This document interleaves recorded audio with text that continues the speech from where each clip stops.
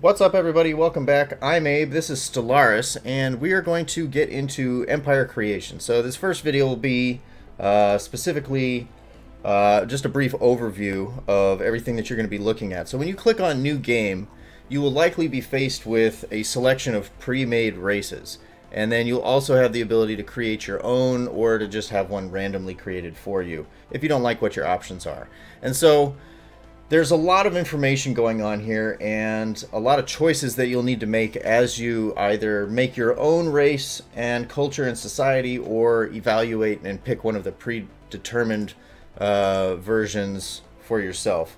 And so the various aspects are the race's traits right down here you can see under human.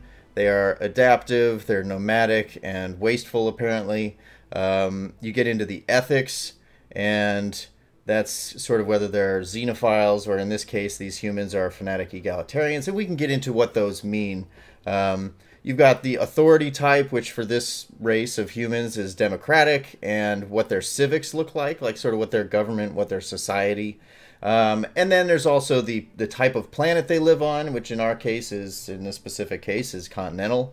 The weapons that their their society has developed the type of warp travel and just like sort of visual cues like the what their ships look like, what the cities look like, things that have no real bearing on the game, what their flag is essentially. But there's a lot to get into.